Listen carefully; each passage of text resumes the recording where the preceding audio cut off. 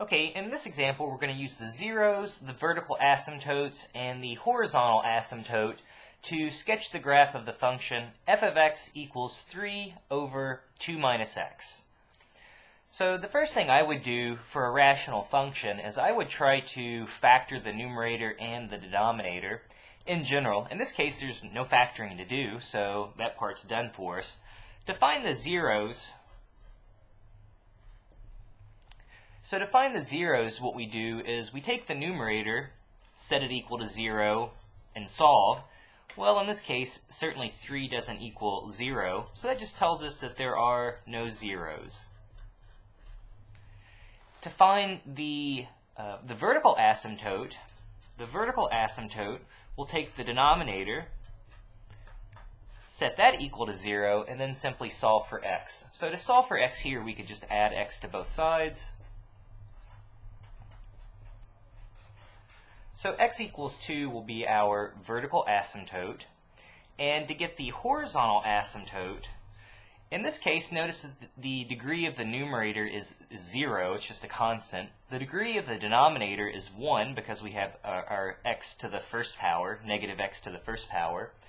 So in this case, uh, since the degree, so I'm going to abbreviate, since the degree of the denominator is greater than the degree of the numerator, since the degree of the denominator is greater than the degree of the numerator, that tells us that y equals 0 is going to be our horizontal asymptote. So at this point, you know, honestly, just based on that, we don't have a ton of information, I would say, to go on. So let's see, x equals 2 is our vertical asymptote, so let me put that in there. We simply said that there was, there are no zeros, so we said there's no zeros. y equals 0 or the x-axis is going to be our horizontal asymptote. But now let's just plot a few points. Um, that's certainly, I don't think, is a terrible idea. So let's see. I'm just going to put in a couple points. Let's say, let's use maybe x equals 3 and x equals 4. So we would have 3 over 2 minus 3 if I substitute in x equals 3. Well, that's going to be 3 over negative 1 or negative 3. x equals 4, that'll give us 3 over 2 minus 4, which will be 3 over negative 2 or negative 3 halves. So let's see here. Uh, I'm going to put those values in there. So at negative 3, excuse me, at positive 3, we get negative 3. And at x equals 4, we're at negative 3 halves. So let's see, that's 1 and a half. So somewhere right there. And you can keep plotting points, and you'll see that your graph, the bottom right portion of it, again, it gets close to that horizontal asymptote, and it gets close to the vertical asymptote. I know it doesn't cross I know it doesn't cross the x-axis again because we know that there's no zeros. So again, remember a rational function can cross its horizontal asymptote. It doesn't have to like this example shows.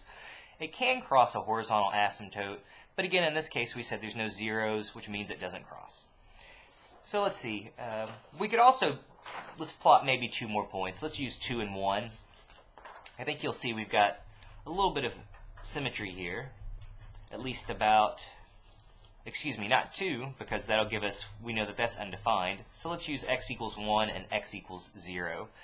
Um, we're going to have some symmetry about our vertical asymptote is what's going to happen.